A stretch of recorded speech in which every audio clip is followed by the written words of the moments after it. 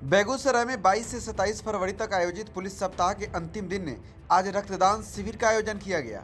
Police line में Rotary Club और Begusarai police के संयुक्त रूप से यह कैंप आयोजित की गई, जहाँ SP Avkash Kumar, headquarter DSP Kundan Kumar Singh समेत थानाध्यक्ष पुलिसकर्मियों ने रक्तदान किया।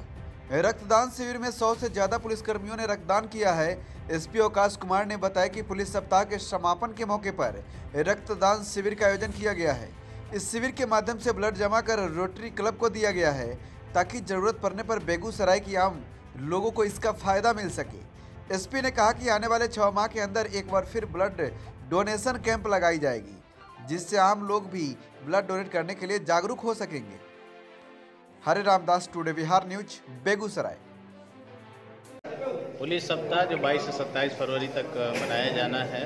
आज आखिरी दिन है उसका और इसके तहत पूरे बिहार में रक्तदान शिविर का आयोजन किया गया है। बेगूसराय में भी हम लोगों ने पुलिस केंद्र में रक्तदान शिविर का आयोजन किया है। रेड क्रॉस और रोटरी दोनों के सौजन्य से। अभी तक हमारे कर्मियों द्वारा, हमारे साथियों द्वारा, करीब बहत्तर लोगों के द्वारा अभी तक रक्तदान के लिए अपना नामांकन कराया जा चुका है। हमें उम्मीद है कि हम लोग इस आंकड़े को सौ से ऊपर ले जाएँगे।